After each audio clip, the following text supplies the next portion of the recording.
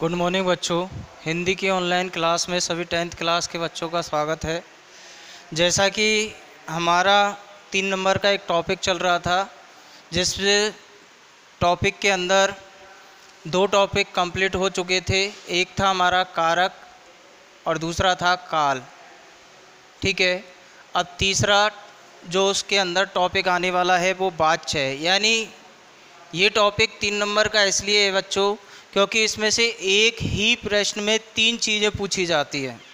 यानी आपको एक सेंटेंस दे दिया जाएगा और उस सेंटेंस के अंदर आपसे ये पूछा जाएगा कि प्रस्तुत वाक्य के अंदर कौन सा कारक है, कौन सा काल है और कौन सा वाच्य है। तो आप बच्चों को इसीलिए इस टॉपिक को कॉमन में पढ़ाया जा रहा है कि आप लोग इसको ध्यान से समझें और तीन नंबर आपके बिल्कुल पक्के करें। कोशिश ये करें कि आप लोगों के तीन नंबर आ जाएँ और इसके लिए आपको मेरी बात ध्यान से सुननी होगी।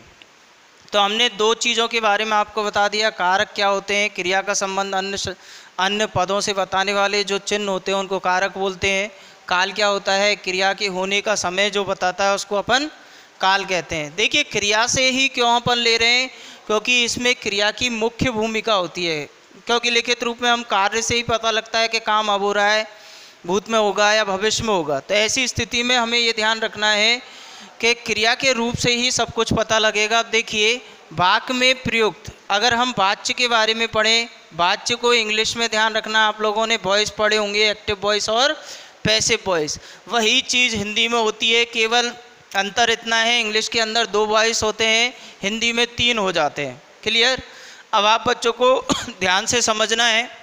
तो देखिए, सबसे पहले परिभाषा। देखिए, आपको जितनी भी चीज़ें पढ़ाई जा रही है, उनकी परिभाषा ज़रूर याद रखें, क्योंकि कई बार एग्जामिनर परिभाषा को भी दे देता है।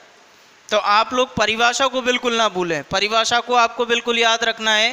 तो आपको ध्यान रखना है, परिभाषा अगर देखें तो वाक्य में प्रयुक्त क्रिया रूप देखिए, ध्यान से समझना क्रिया रूप कर्ता, कर्म या भाव। तीन चीज़ आई हैं। कर्ता, कर्म या भाव किसके अनुसार प्रयुक्त हुआ है? देखिए क्रिया। क्रिया किसके अनुसार लगाई गई है वाक्य में? ये चीज़ हमको बताने वाला कौन है?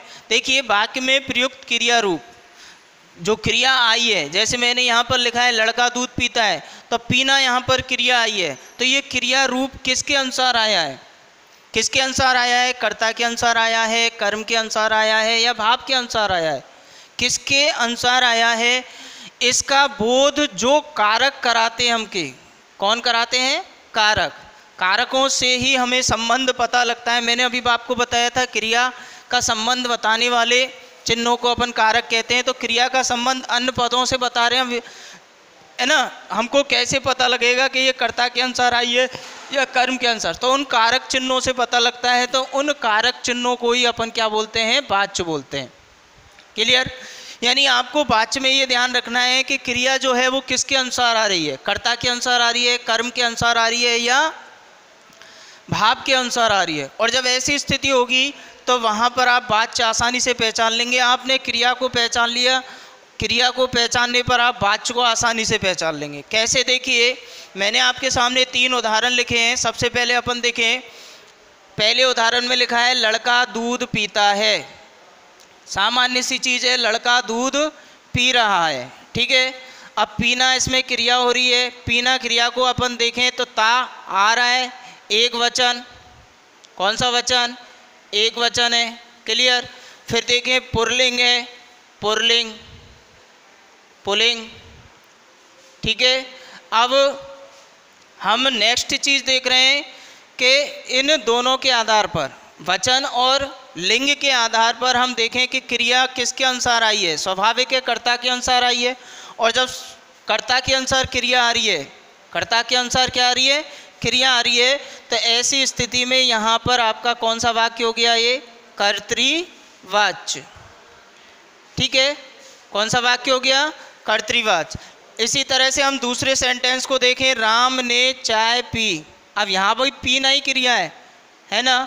लेकिन पी को अगर अपन देखें, देखिए, पी को अगर देखें तो एक वचन है, ठीक है, वचन वही है। इसके बाद दूसरी स्थिति देखें कि लिंग कौन सा है तो लिंग अपन निकाल के देखते हैं तो स्त्रीलिंग निकल रहा है, ठीक है ना? कौन सा निकल रहा है? स्त्रीलिंग निकल रहा है। अब जब हमें ये पता लग रहा है कि पीना क्रिया यहाँ पर स्त्रीलिंग है तो अब हम देखें राम के अनुसार तो हो नहीं सकती, क्योंकि राम स्वयं यहाँ पर क्या है? पुरलिंग है। कौन सा है? पुरलिंग है ना? कौन सा है? पुल्लिंग, है ना? अब ऐसी स्थिति में यहाँ आपका राम तो हो नहीं सकता। तो अब हम क्या करें? अब हम क्या करें? कैसे पता लगाएँ? तो हम देखते हैं चाय। अब चाय जो होता है, दूसरा रह गया कर्म। कर्ता हो गया। कर्ता के अनुसार हमारी क्रिया का प्रयोग नहीं हुआ। तो अब हम कर्म को देखते हैं। तो कर्म यहाँ पर चाय जो शब्द है, वो स्त्रीलिंग है। और स्वाभाविक है, पी जो शब्द आया है, वो चाय के अनुसार आया है। अब चाय के अनुसार पी शब्द आने के कारण यहाँ पर ये जो आपकी पीना क्रिया हुई, वो किसमें जाएगी? स्त्रीलिंग में गई है। अब स्त्रीलिंग में जाने के कारण इसको हम किसके अनुसार प्रयोग कर रहे हैं? कर्म के अनुसार। तो ये हो जाएगा कर्म वाच्य यानी यहाँ क्रिया के इस रूप से हमको कर्म का बोध हो रहा है कि क्रिया जो है, वो किसके अनुसार प्रयुक्त हो रही है? कर्म के अनुसार। यहाँ क्रिया किसके अनुसार प्रयुक्त हो रही थी? कर्ता के अनुसार। तीसरी स्थिति में हम देखें, मुझसे पढ़ा नहीं जाता। है ना? तो अब यहाँ अगर हम देखें, पुरलिंग है। क्रिया कैसी है? पुलिंग इसके बाद देखें, एक वचन और आकारांत। कैसी है? आकारांत। आपको ध्यान रखना है भाव वाच्य में हमेशा सदैव क्रिया जो है, आकारांत, पुरलिंग और एक वचन में ही मिलेगी। और इसके साथ साथ इसमें एक निषेध होगा। हर कार्य के लिए मना करेगा नेगेटिव बात करेगा। तो ऐसी स्थिति में भाव वाच के अनुसार, भाव के अनुसार क्रिया का प्रयोग कर रहे हैं। किसके अनुसार? भाव के अनुसार। तो तीसरी स्थिति में आपका हो गया कि क्रिया किसके अनुसार आई है? भाव के अनुसार आई है तो भाव बाच हो जाएगा। कौन सा बाच हो जाएगा? भाव बाच तो ये तीन स्थिति हुई बच्चों, ध्यान रखना है आपको कि पहली स्थिति में आपका ये था कि क्रिया का रूप जो आया है, वो किसके अनुसार आया? तो पहले रूप में हमने देखा क्रिया का जो रूप आया है, वो कर्ता के अनुसार आया था। तो स्वाभाविक है, वह वाक्य जो होगा, वो कर्तृवाच होगा। क्रिया का दूसरा रूप अगर हम देखें कि क्रिया का जो दूसरे सेंटेंस में हमने देखा कि क्रिया का रूप कर्ता के अनुसार नहीं आ रहा, बल्कि किसके अनुसार आ रहा है? कर्म के अनुसार आ रहा है। तो कर्म के अनुसार जब क्रिया का रूप आएगा तो ऐसी स्थिति में वह आपका कौन सा होगा? कर्मवाच होगा। तीसरी स्थिति में अगर मान लीजिए क्रिया का रूप न तो कर्ता के अनुसार आता है, न क्रिया के अनुसार आता है। ओ सॉरी न तो कर्ता के अनुसार आता है न ही कर्म के अनुसार आता है। तो ऐसी स्थिति में आपका जो क्रिया रूप होगा, वो आकारांत, एक वचन और पुरलिंग होगा सदैव। तो ऐसी स्थिति में आपका कौन सा भाव बाच्य होगा भाव बाच्य होगा, और कौन सा आकारांत होगा, ठीक है? अब नेक्स्ट चीज़ अगर अपन देखें तो वो चीज़ निकल के आती है, देखिए, अब हमने पढ़ा क्रिया के वाच्य को समझ लिया। अब इसके भेदों को अगर देखा जाए तो देखिए वाच्य कितने प्रकार के होते हैं? आप लोगों को मैंने अभी आपको बताया था जस्ट थोड़ी देर पहले कि इंग्लिश के अंदर वाच्य जो होते हैं, वो दो होते हैं। इंग्लिश के अंदर वाच्य आपके दो होते हैं, लेकिन हिंदी संस्कृत में वाच्य तीन होते हैं। तो अब हम वाच्य के भेद पढ़े बच्चों। तो देखिए वाच्य, जिसको अपन वॉइस बोलते हैं तो वाच्य जो होते हैं, हिंदी में तीन प्रकार के होते हैं। कितने प्रकार के होते हैं? तीन, हिंदी में वाच्य तीन प्रकार के होते हैं। तीन प्रकार के होते हैं। ठीक है बच्चों, आप लोग ध्यान से देखें हिंदी में वाच्य तीन प्रकार के होते हैं। कौन कौन से होते हैं अगर हम देखें तो नंबर एक, नंबर दो और नंबर तीन। नंबर एक में आपका आ जाता है कर्तृवाच्य कर्तृवाच्य नंबर दो में आपका आ जाता है कर्मवाच्य कर्मवाच्य और नंबर तीन में आपका आ जाता है भाव वाच्य भाव वाच्य देखिए बच्चों, अभी मैंने आपको एग्ज़ाम्पल बताए थे। पहले ये नाम जो रखे गए हैं, वो क्रिया के उस रूप के आधार पर बताए गए हैं। जिस आधार अभी हमने थोड़ी देर पहले परिभाषा पढ़ी थी कि क्रिया के जिस रूप से हमें ये पता लगे कि क्रिया जो है, वो कर्ता के अनुसार आ रही है, कर्म के अनुसार आ रही है या भाव के अनुसार आ रही है। उसको अपन, उसका बोध कराने वाले को अपन वाच्य कहते हैं। अब यहाँ ये चीज़ जिससे स्पष्ट होगी, उसी के आधार पर हमने क्रिया के उस रूप को हमने वाच्य का नाम दे दिया कर्तृवाच कर्मवाच और भाववाच कौन से हो गए? यानी अगर क्रिया कर्ता के अनुसार आती है तो कर्तृवाच हो जाएगा, क्रिया कर्म के अनुसार आती है तो कर्मवाच हो जाएगा, और क्रिया भाव के अनुसार आती है तो भाववाच हो जाएगा। आप बच्चों को ये चीज़ें ध्यान रखनी है कि क्रिया किसके अनुसार आ रही है, उसी के अनुसार उसका नाम रखा गया है। अगर क्रियाकर्ता के अनुसार आती है तो कर्तृवाच क्रिया कर्म के अनुसार आती है तो कर्मवाच।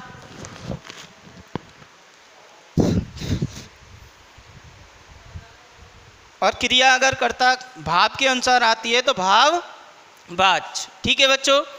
अब अगर हम अपनी स्थिति को देखें, प्रत्येक के बारे में एक एक के बारे में विस्तृत बात करें तो देखिए ध्यान से, सबसे पहले आपका आ जाता है कर्तृवाच। तो देखिए कर्तृवाच, अगर इसकी डेफिनेशन बनाए, इसकी परिभाषा बनाए तो क्या बनती है? अभी मैंने आपको बताया था कर्ता के अनुसार। अब अगर हम इसकी परिभाषा लिखना चाहें तो क्या बनेगी देखिए? कर्तृवाच। तो देखिए, ध्यान रखना, ये तीनों के तीनों जो भेद हैं, वो वाक्यों के भेद के अंतर्गत भी आते हैं। यानी क्रिया के आधार पर वाक्यों को तीन भागों में बांटा गया है, कर्तृवाच, कर्मवाच और भाववाच। अब देखिए, वाक्य में वाक्य में प्रयुक्त क्रिया यदि कर्ता के, यदि कर्ता के लिंग वचन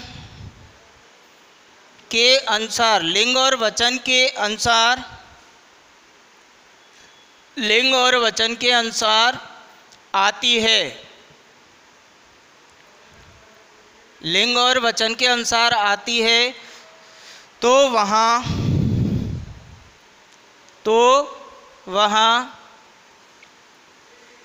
कर्तृवाच्य होता है। कर्तृवाच्य होता है।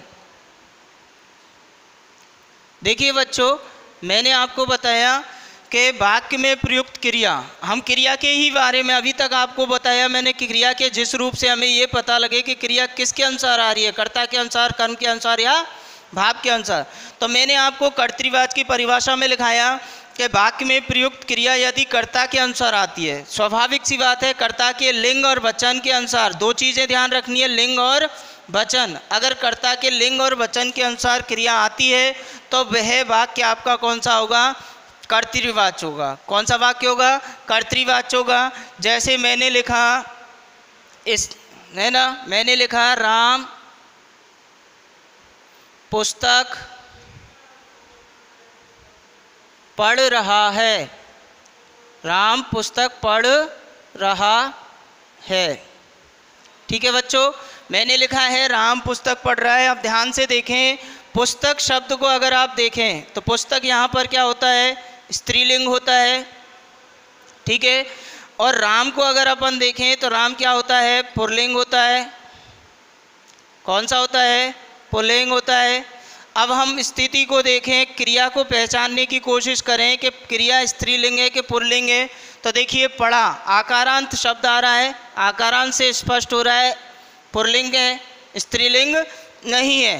तो स्त्रीलिंग न होने के कारण पुस्तक के अनुसार तो क्रिया आई नहीं है, किसके अनुसार है? राम के अनुसार है, किसके अनुसार है? राम के अनुसार। तो ऐसी स्थिति में ये वाक्य आपका किसमें जाएगा?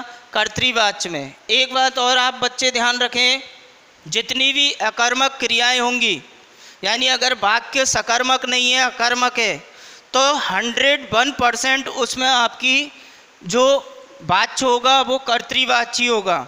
जैसे मैंने लिखा, देखिए, मैंने लिखा, वह खेल रहा है, वह खेल रहा है।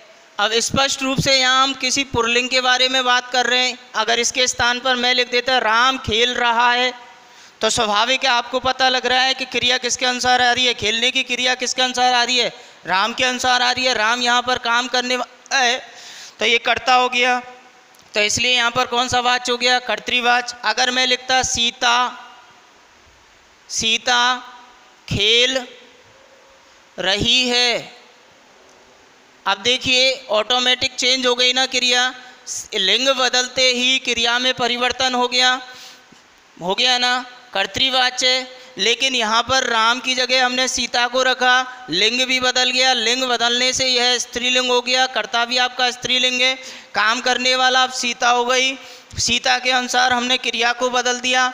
ऐसी स्थिति में आपका कौन सा हो जाएगा? कर्तृवाच। क्यों?